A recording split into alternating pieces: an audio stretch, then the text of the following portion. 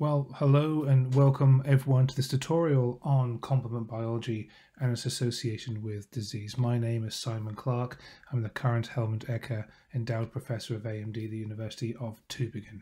And I'd like to take this opportunity to thank the Stephen J. Ryan Initiative for Macular Research for the opportunity to give this talk today. As a way of overview, I'll start by setting the scene around the discovery of complement and then we'll look at the complement system overall, how it is activated, and the molecular consequences of that activation. We'll explore how complement turnover is regulated, for it is here that the greatest association with disease is often found. And by way of example, we'll go we'll discuss a couple of diseases associated with complement overactivation um, in the blood and the kidney, and of course, due to the nature of this tutorial, we will end up focusing on the role of complement in age-related macular degeneration. So complement was discovered over 100 years ago by Dr. Hans Buchner, a German medic, who discovered that there was a heat-labile component of blood that helped kill bacteria. And not knowing what it was, he named it alexin, which is derived from the Greek word to fend off. And another German scientist, Professor Paul Ehrlich, um, he coined the phrase complement a few years later because this alexin quite literally complemented the role of immune cells in the adaptive immune response in his blood immunity experiments. He was a prolific immunologist and he was the chap that coined the phrase chemotherapy and the concept of the magic bullet and was ultimately awarded the Nobel Prize for his work in blood immunology in 1908. The complement system, often referred to as the complement cascade for reasons I hope will become apparent in the next few slides, is a collective term for a series of enzymatic reactions that leads to immune cell recruitment from the circulation, inflammation, opsonization, which is the labeling of surfaces for destruction by phagocytosis, cell lysis, and tissue remodeling.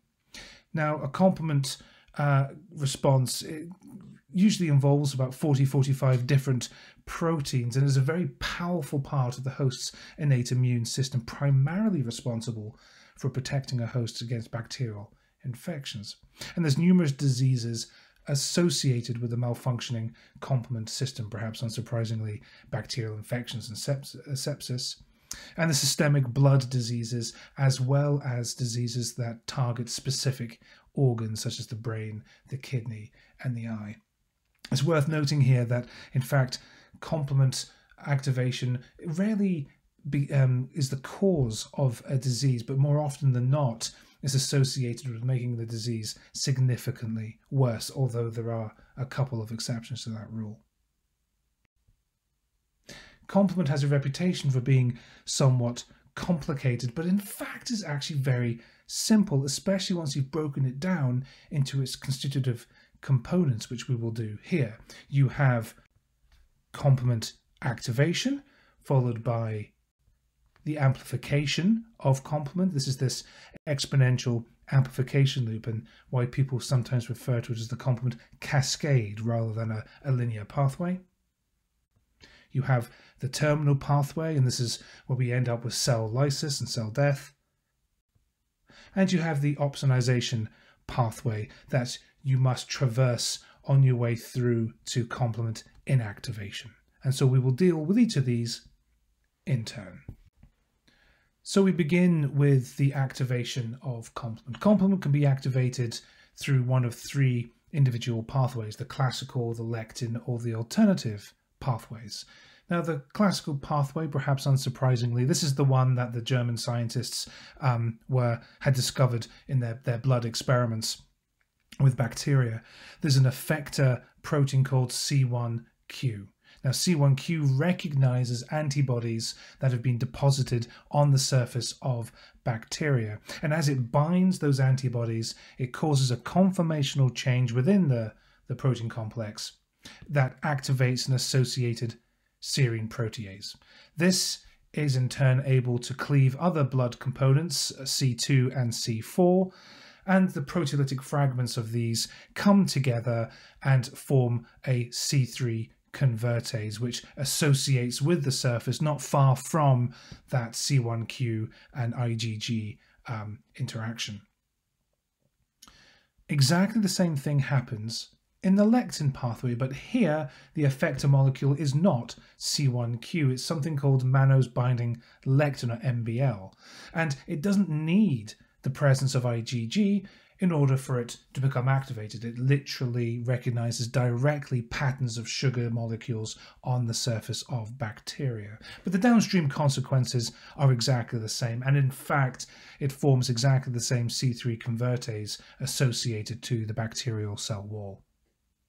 The alternative pathway, as the name suggests, runs quite differently. Here, there is no effector molecule per se, and it relies on the natural um, hydrolysis of a major blood protein called C3.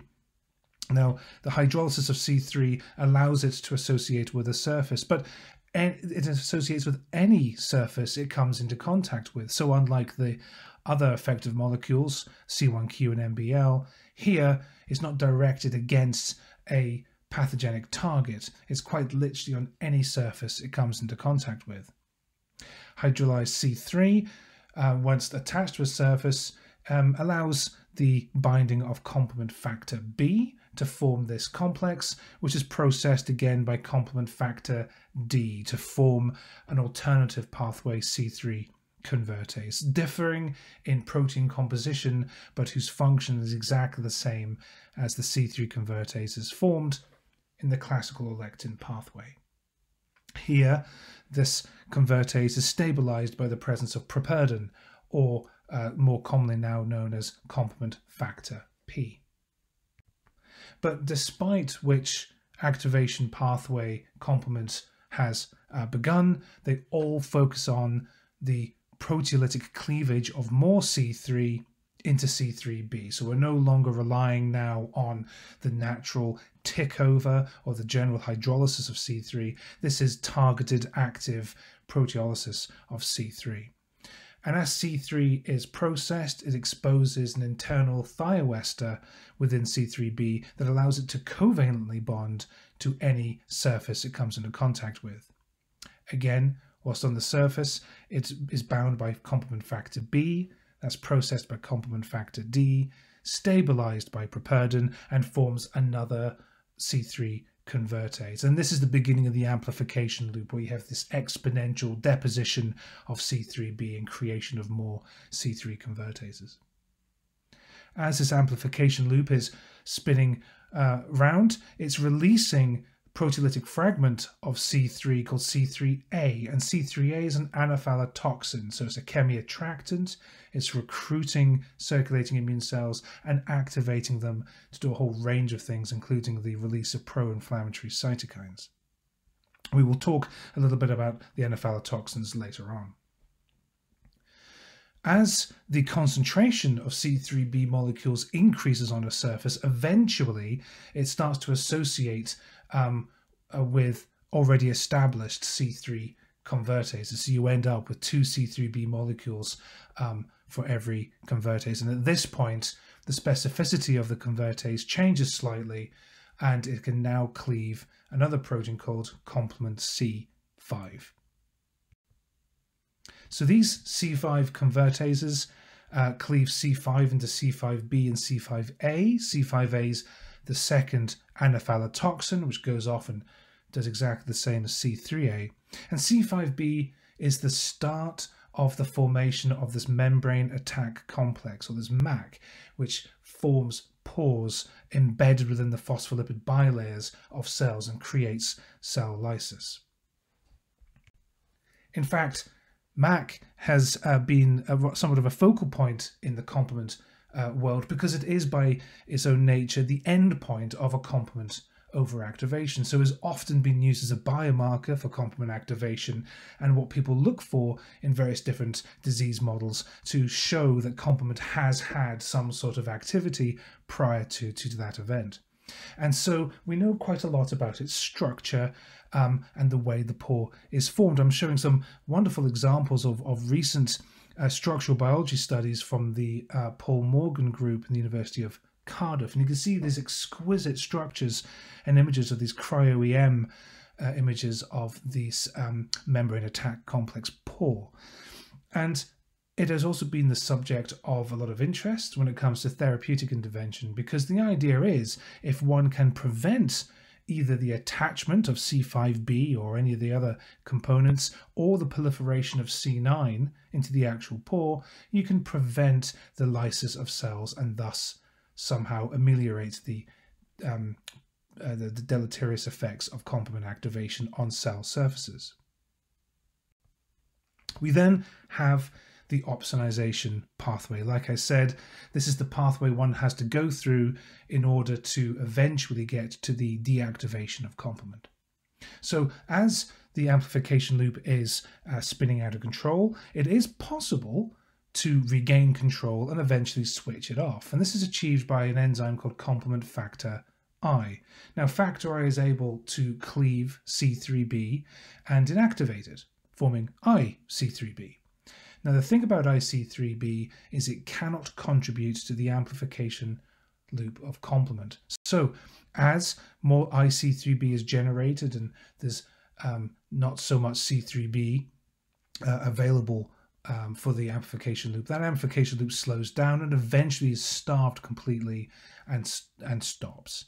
And this stops the release of toxins and the formation of the membrane attack complex. But there is a problem. IC3b remains a potent opsonin. That is to say that all those immune cells that are now hanging around the site of complement activation still recognize it as a danger signal and it induces phagocytosis. This is switched off again by complement factor I, cleaving IC3b into even smaller degradation products. The first one, C3DG, and eventually C3D. Now, Factor I can only do all of this in the presence of a cofactor, and we'll talk about the cofactors in, in depth in a couple more slides, but suffice to say that there are lots of cofactors that allow factor I to cleave C3b into IC3b and thus stop a complement amplification, but there is only one cofactor that allows factor I to switch off the opsonization and fully switch off a complement response. This is all to do with levels of affinity. So every time that C3b is cleaved, the affinity for specific uh, receptors on immune cells and phagocytes um, changes. And eventually, as you slowly, slowly get to smaller and smaller uh, cleavage product of C3, the affinity drops off. And ultimately, by the time you reach the end, there's very little affinity left, and the immune cells become disinterested, disengage, and wander back off again. So these toxins, C3A and C5A, these are recruiting um, circulating immune cells to the sites of complement overactivation. An example, you can see the video here of neutrophil chemotaxis to a zymosan. This is work done by the Heinrich Lab, UC Davis. In this particular experiment, uh, the, the major signal is actually C5A. Not only do they recruit immune cells, but when they engage their receptors on these cells, they cause a whole range of different reactions, the production of inflammatory cytokine secretion, but they also cause in other cell types smooth muscle contraction, vasodilation, degranulation of mast cells, and enhanced vascular permeability. Now, clearly, with such a powerful acute phase immune response, it is incredibly important for it to be tightly regulated. And virtually every cell in your body carries a whole array of different um, complement inhibitors to prevent inappropriate activation of the complement system. For example, you have membrane bound complement inhibitors, such as the membrane cofactor protein, MCP, also known as CD46 and that acts as a factor I cofactor that targets C3b or C4b deposition and allows factor I to, to cleave it. You've also got decay accelerating factor or DAF. Um, that it doesn't help factor I cleave these products, but what it does is it physically helps dissociate these C3 and C5 convertases from a surface. You've got complement receptor 1 or CR1. We already introduced this, this molecule. It inhibits all three of the activation pathways. It's most potent factor I cofactor in the human body and the only one that deals not only with the inflammation and um, MAC formation, but also the opsonization part of complement activation. And you have CD59, which is a, a molecule on the surface of cells which embeds itself into um, C9 and prevents the proliferation of that uh, pore of MAC, so a built-in anti-MAC inhibitor. It's very similar to other proteins like vitronectin and clusterin. Now, these aren't official complement regulators. They do lots of other things, um, but they also prevent the formation of MAC complex on a cell surface. Now, the majority of these complement inhibitors are characterized, with the exception of CD59, the majority of them are characterized by being made up of specific domains called CCP domains or complement control protein domains. There are also fluid phase regulators of the complement uh, system. There's only a couple of them. Uh, the C4b, so the C4 binding protein or C4BP, which, as the name suggests, binds to C4b and acts as a cofactor for factor I. It helps regulate the classical and lectin pathways. But there's also a protein called complement factor H, and that binds to C3b and acts as a cofactor for factor I. Now, the important thing about factor H is factor H contains anchoring domains. These are CCP domains that are able to bind to cell surfaces, but also acellular structures, such as basement membranes. And for this reason, factor H is one of the only factor I cofactors in the human body that protects your acellular structures, such as the extracellular matrix and basement membranes. There are many diseases associated with changes in factor H function on levels, and they usually affect uh, complement amplification on extracellular matrix. Now, the anchoring domains in factor H are in CCPs 7 and CCPs 19 20, and they're mainly um, recognized sulfated glycosaminoglycans, these long unbr- unbranched sulfated sugars that are present on proteoglycans, um, like such as heparan sulfate and dermatan sulfate. The CCPs 1920 are responsible also for the binding via sialic acids uh, to surfaces and uh, cell membranes. And there are coding variants and genetic variants associated with AMD that cluster in these particular regions, uh, particularly around CCP7. Why is this important? Well, it's the recognition of heparan sulfate by factor H that allows uh, factor H to protect basement membranes such as Bruch's membrane and the glomeruli basement membrane uh, within human kidneys. Now, the interesting thing about these two particular membranes is that unlike any other basement membrane in the human body, these two are in direct contact with the blood. Traditionally, the basement membrane would be on the other side of the uh, cell monolayer, the um, epithelial cell monolayer, but in these cases, they're actually on the side of the blood, making them incredibly susceptible to C3 deposition or C3 hydrolyzed C3 deposition. So the binding of factor H to these basement membranes is imperative to prevent complement overactivation. The interesting thing is the two anchoring domains in factor H seem to confer different specificities for different heparan sulfate uh, sulfation sequences within these tissues. So, for example, um, the anchoring domain in CCP7 seems to predominantly um, anchor factor H to the basement membrane the Bruch's membrane in the eye, whereas the 1920 region doesn't have much in the way of an influence uh, in factor H anchoring. And yet in the kidney, it's almost the other way around. And in fact, genetic variants within the 1920 region are predominantly uh, affecting kidney disease, whereas mutations and genetic variants within the CCP 6 to 8 region predominantly affect diseases of the outer blood retinal barrier.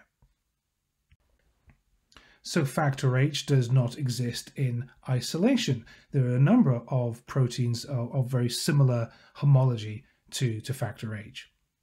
The gene that makes uh, or transcribes the factor H protein resides in chromosome 1 in a region called the RCA cluster or the region of complement activation cluster. And the gene makes two proteins. It not only makes the large 155 kilodalton highly glycosylated full length factor H, it also makes a truncated version called factor H like protein 1. FHL1 is um, identical to factor H for the first seven CCP domains before terminating in a unique C terminal tail. It is unglycosylated, but it does retain all of the binding functions of factor H and complement inhibitory uh, ability. Just downstream of the factor H gene are five factor H related genes, each making a protein product. And these proteins have a high degree of sequence homology, not only with the factor H protein itself, but also amongst each other. They can also bind many of the ligands of factor H, uh, C3b, glycosaminoglycans, sialic acid, but they cannot bind complement factor I. So this means that despite the fact that they can bind all these different bits and pieces, they cannot inhibit complement activation. Now, complement factor H predominates in blood and tissues, and FHL1 very much is the minor component, but there are a couple of exceptions. More notably, um, certain tumor cells like glioblastoma, the brain cancer, overexpress FHL1. Um, but also, if you look in the Bruch's membrane and the outer blood retinal barrier and the human eye, you will find that in fact FHL1 predominates within that structure. The current hypothesis for this is because due to its much smaller size and complete lack of glycosylation, it is able to diffuse much easier through tightly packed ECM, uh, protecting that ECM from C3 hydrolysis or C3b deposition. It should also be noted that genetic variants that affect the binding of factor H through CCP7 to GAGs and what have you doesn't make much of a difference to the full length protein, or not much of a discernible difference in the laboratory, because of the presence of the other anchoring domain, which helps counteract that problem. But in the case of FHL1, domain 7 is the only anchoring domain that the protein has. So any genetic variant in CCP7 disproportionately affects FHL1 function over full-length factor H. So that's an overview of complement activation uh, and its regulation. So perhaps now would be a good time to look at some diseases associated with uh, complement dysregulation. The first one is uh, worth mentioning is paroxysmal nocturnal hemoglobinuria, or PNH. It's a blood disorder characterized by complement mediated hemolytic uh, anemia. And it's due to a somatic mutation in the X-linked phosphatidylinositol glycan class A gene. Essentially, we see a significant reduction in the amount of GPI anchored proteins on the surface of red blood cells. And this, of course, includes the array of cell surface bound complement inhibitors. You get um, hemolysis of red blood cells um, due to excessive complement activation and the formation of the membrane attack complex. This is actually a really interesting example that um, demonstrates that, for example, factor H isn't a fantastically good regulator of activation of complement on cell surfaces because these red blood cells lyse um, because of complement overactivation, even though these patients have normal levels of circulating factor H.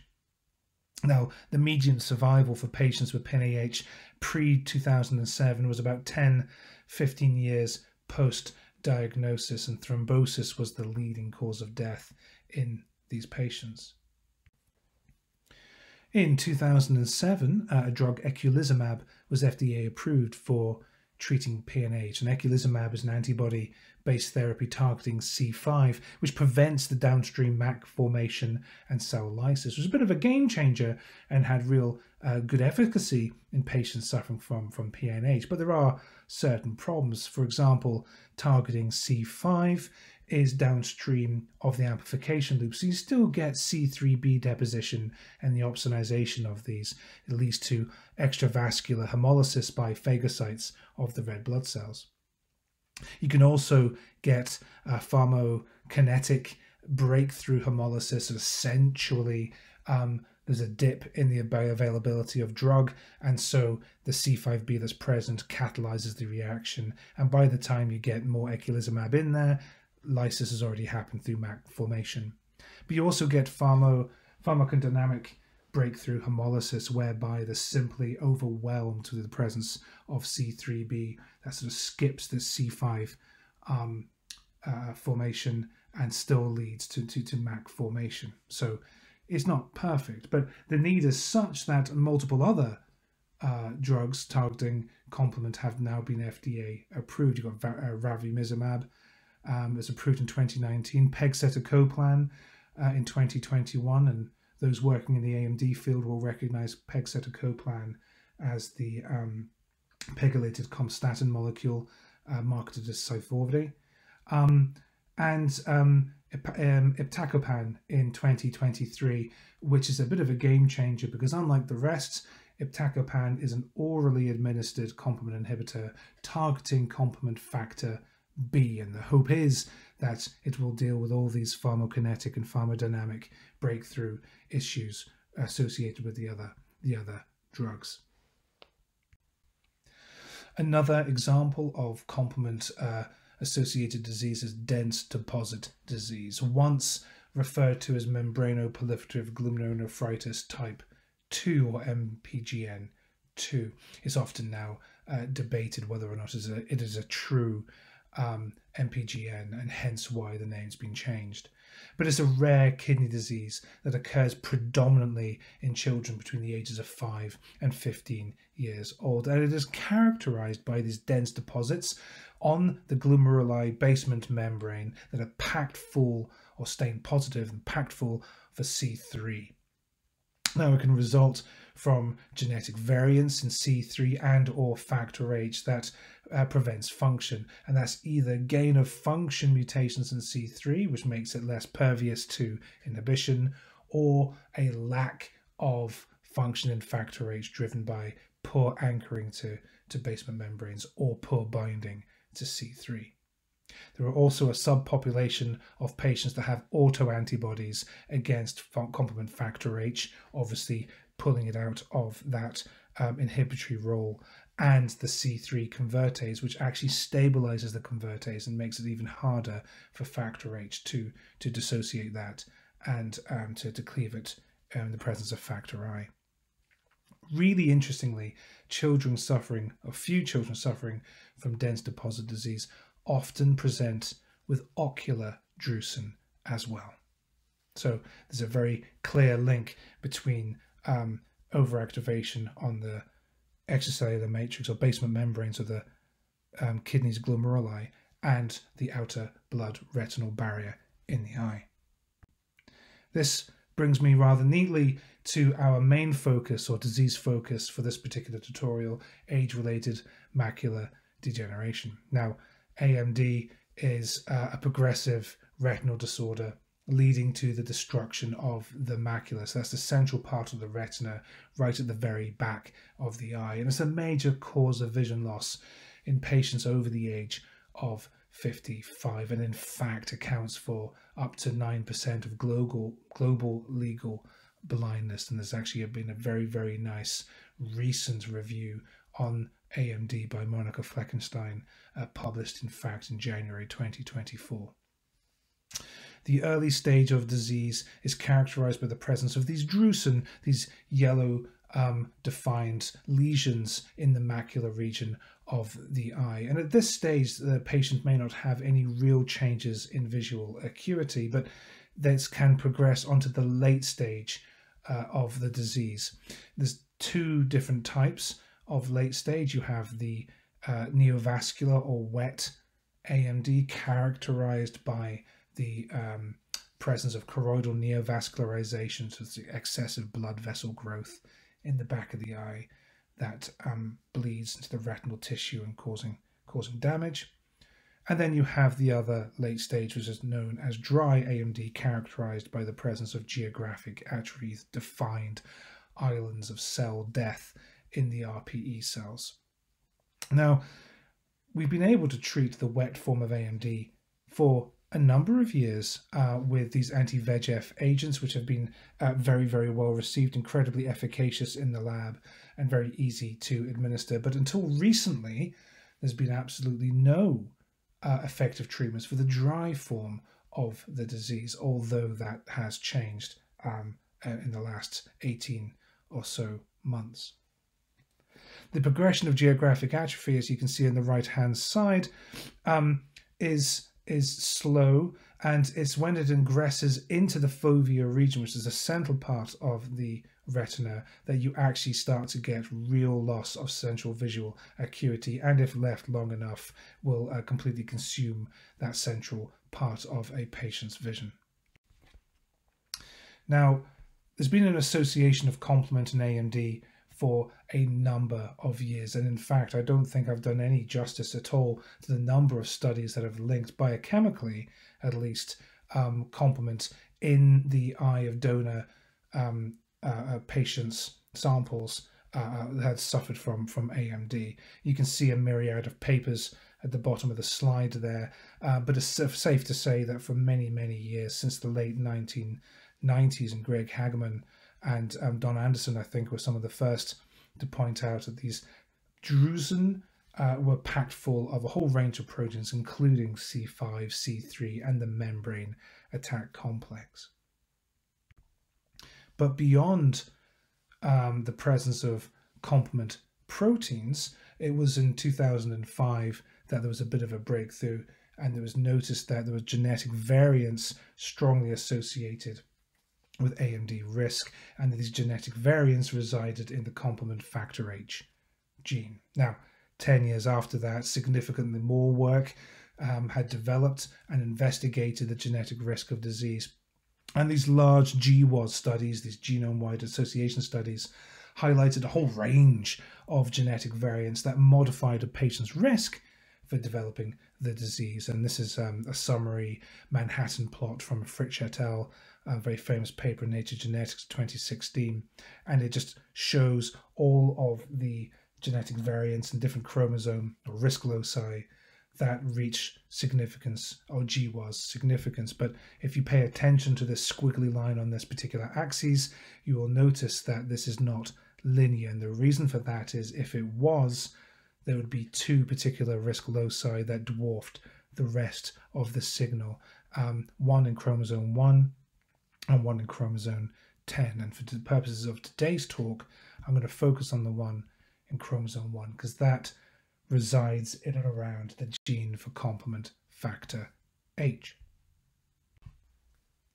This is another way of representing the genetic data. Instead of, unlike the Manhattan plot, instead of listing genetic variants as strength of association of disease, this is a population attributable fraction uh, table that lists them in relation to their effect on any given population. So the on the left you've got protective genetic variants, on the right you've got the risk protective variants, and the deviation off of the midline is how much those genetic variants affect a given population. So you may well have a very strongly associated uh, genetic variant with disease somewhere in the middle, but if it's very, very rare, it's not going to affect many, many people in any given population. And you can see at the the two extreme ends, and both risk and protective, there are genetic variants that do have a big effect on a population. And in fact, these are also chromosome 1 risk genetic variants. So not only are they strongly associated with disease, they actually have a very impactful downstream effect on the population. Now, there's some uh, debates even now that um, despite there being two clearly independent risk loci, chromosome 1 and chromosome 10, there's a bit of a debate as to whether or not these remain separate diseases or if, in fact, these two risk loci somehow biochemically merge at some point during the disease uh, pathogenesis. And this remains um, a little bit uh, of an unknown, although there are clearly people trying to make that association. In fact, genetic risk around chromosome 1 makes a significant contribution quite specifically to geographic atrophy. If you take a sample uh, GA population of, of, of patients uh, and do their genotyping, you'll you'll find that in fact quite a lot of them are homozygous for risk at chromosome 1 and certainly indeed the majority of them will at the very least be heterozygous uh, for risk at chromosome 1 and only a small percentage around 13% won't actually carry any genetic risk at that risk loci. So a very much an enrichment of chromosome 1 risk in geographic atrophy. Now, chromosome 1 patients uh, tend to be the slowest progressors to late stage AMD, but chromosome 10 patients uh, are much faster progressors and much more likely to develop uh, choroidal neovascularization. So there's a very strong case in terms of genetics for the role of complement in driving uh, AMD or driving the risk of AMD. But also beyond those early day stainings of drusen showing complement proteins being deposited in, in drusen, there's lots of other biochemical data that also links complement overactivation uh, with the early stages of disease. And in the early stages, one can find comp excessive complement deposition in and around the extracellular matrix surrounding the choriocapillaris, this fenestrated blood vasculature just underneath Bruch's membrane, which forms part of the outer blood retinal barrier.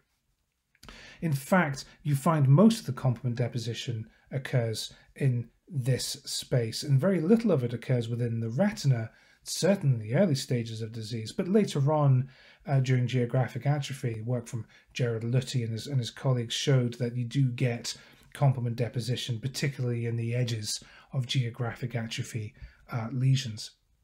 But interestingly, you can see complement deposition and activation in and around the choriocapillaris in donor sample, um, sorry, uh, uh, donor eye samples from patients who carry genetic risk for AMD but have not yet developed the disease, strongly implying that complement overactivation is an early um, part of the disease process. And you see that complement act overactivation in the choriocapillaris, and it's associated with loss of blood vasculature in that space. Another interesting note is that we also see um, recruitment of immune cells into this space, which coincides with complement turnover markers. We see mast cell degranulation occurs in here, and we already know that complement is a major um, signaling pathway for immune cell recruitment and mast cell degranulation. So there's plenty of uh, biochemical evidence to suggest that complement is turning over excessively in this space in these patients.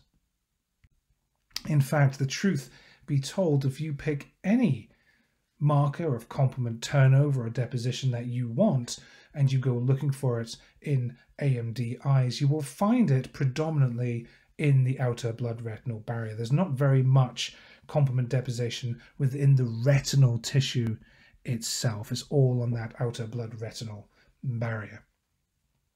Why? Is it likely to be in this ECM? Well, we're not entirely sure, but again, remember all of those genetic associations with AMD.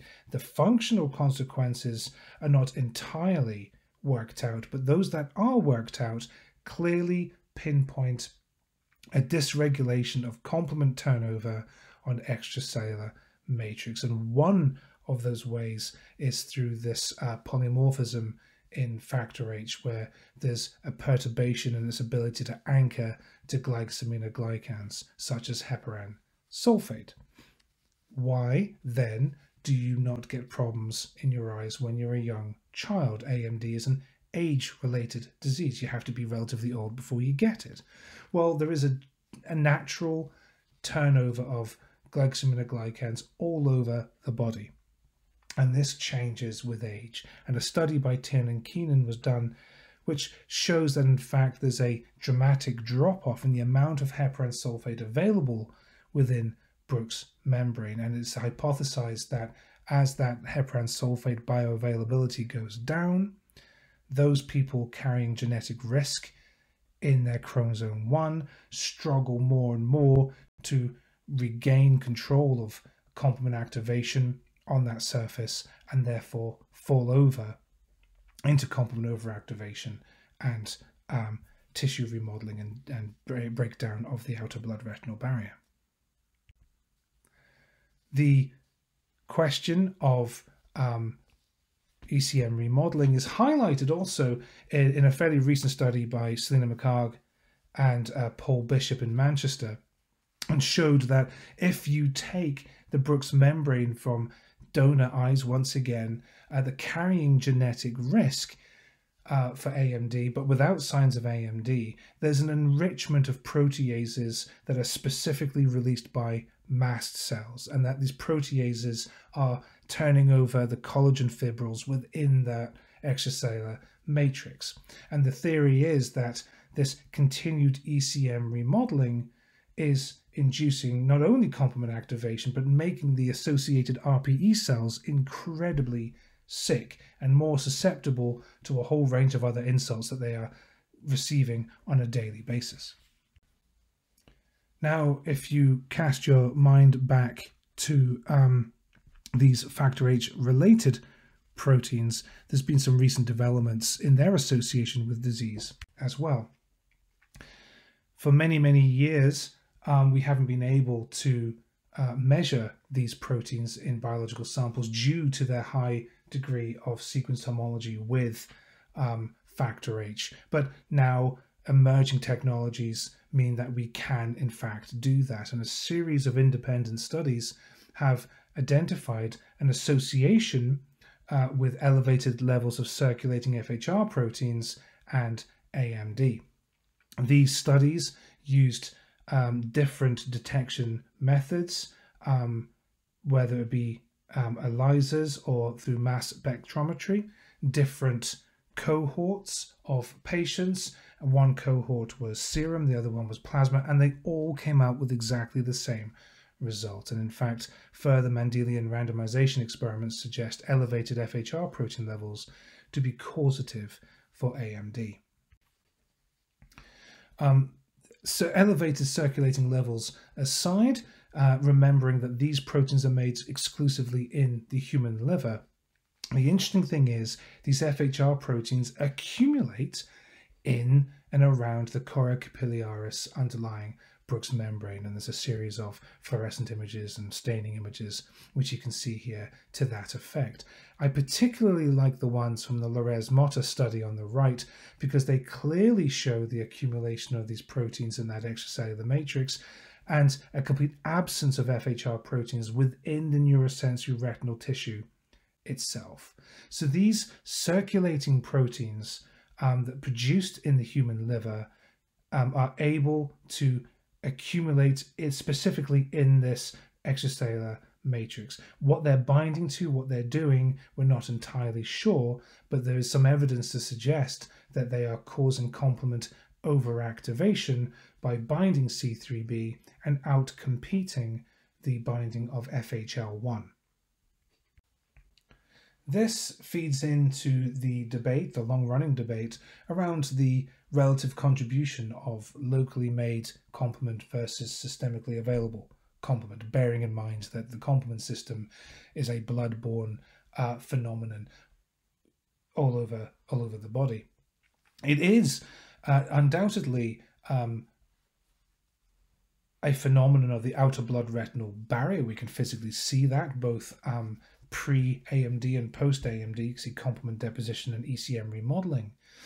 But it's also undisputable that you can measure complement activation markers in the circulation and the blood of AMD patients. There's a whole array of studies that have looked into this and seen uh, differing levels of complement, circulating complement. It is very likely that um, you can measure markers of complement activation systemically that originate from local tissues. I'm not aware of any of these studies that have taken the blood of um, these patients and shown there's a deficiency in the complement system or an overactivation of the complement system in the blood itself. So it's more likely to be a byproduct of a local complement activation. But clearly, there is local production of complement proteins in all these tissues. It wasn't that long ago when I was doing my PhD, maybe 20 years ago, where we were told religiously that complement was a liver uh, born phenomenon. We know that just simply is not the case. Um, complement is made all over the body, perhaps with the exception of the FHR proteins, but the eye is no different. And this really nice uh, study uh, from a couple of years ago that uh, looked at gene transcription of complement uh, proteins in eyes and showed, in fact, that not only was there a difference between the macular and peripheral regions of uh, for complement activation, for complement gene transcription, but also between the neurosensory retina and choroidal tissues, showing a clear um, delineation and clear uh, landscaping of that complement activation um, profile.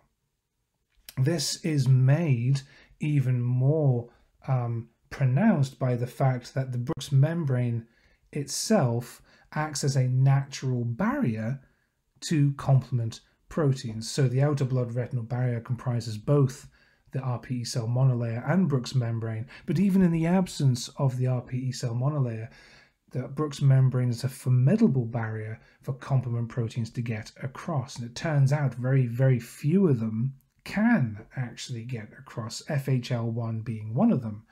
In fact, it turns out that majority of the glycosylated um, complement proteins are retained on whichever side of Bruch's membrane that they are synthesized. The outcome to this is that essentially Bruch's membrane alone is sufficient to create two immunologically distinct um, local environments for complement turnover and activation within the eye. The role of complement in opsonization has also recently been uh, highlighted in a number of uh, neurodegenerative diseases, uh, particularly in and around the, the brain. And it shows that there's a big, big link between microgliophagocytosis and synaptic loss. Um, and in fact, that this is mediated through the CR3 receptor recognizing and binding um, C3b and IC3b uh, on these on these synapses, and in fact, you can get rid of this by uh, blocking or genetically uh, removing the CR3 receptor on the microglia.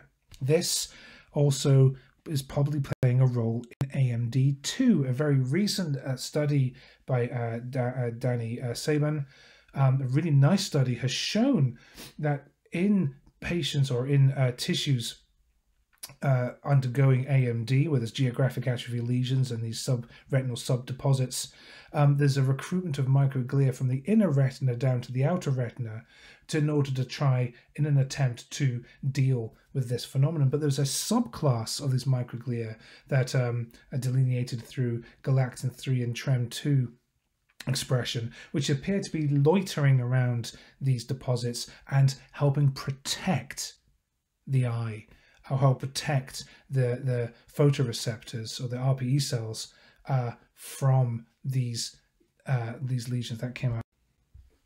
So perhaps unsurprisingly then, um, there's a big interest in targeting complement as a therapeutic modality for treating AMD. And there's a whole range of clinical assets at various different stages and preclinical assets for that matter, um, all utilizing different delivery uh, modalities being tested.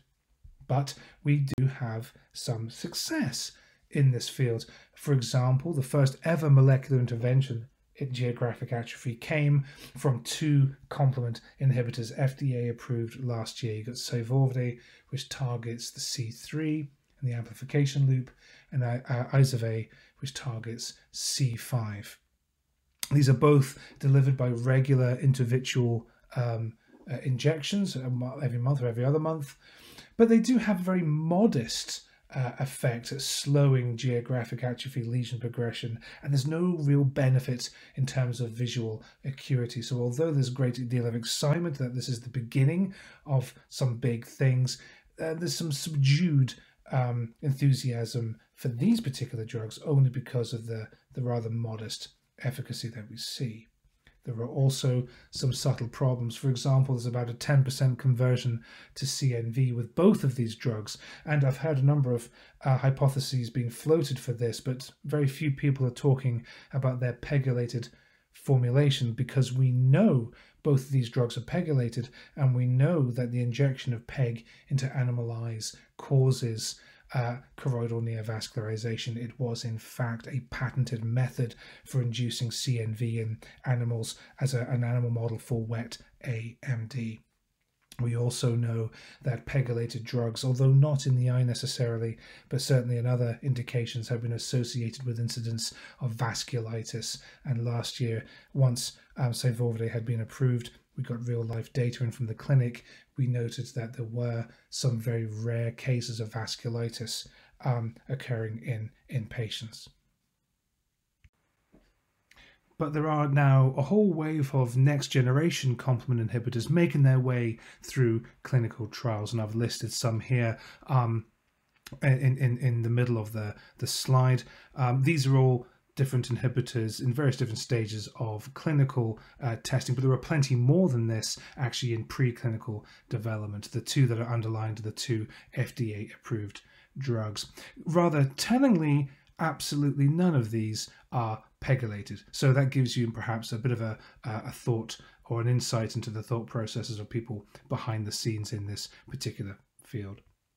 And these drugs use a range of delivery approaches uh, being used from subcutaneous injections of siRNA to intravitreal or sub, um, suprachoroidal delivery of gene therapies to oral therapies and, and so on and so forth. But one thing is definitely clear if you are targeting complement overactivation in AMD, you better um, deliver your drug or design your drug in such a way such that it is able to reach uh, beyond the outer blood retinal barrier uh, into the intercapillary septa and extracellular matrix surrounding that choriocapillaris because if your drug is retained purely within the eye you're only ever going to be dealing with a fraction of or a small percentage of complement overactivation associated with the disease. And that may well contribute to an efficacy ceiling that we see with our previous therapeutics. So perhaps then uh, to draw to a conclusion, complement is a very powerful player in mediating immune homeostasis around the body and is more often associated with making diseases worse rather than causing disease, but uh, with a couple of notable uh, exceptions, uh, possibly AMD being being one of them. Complement regulation um, is a delicate balance between allowing complement turnover um, and the removal of unwanted immune complexes through ops- opsonization, but without overactivation and causing unwanted tissue damage. Complement turnover recruits immune cells, activates them, and induces ECM remodeling, inflammation, and destruction by phagocytosis, all aspects commonly associated with diseases such as AMD.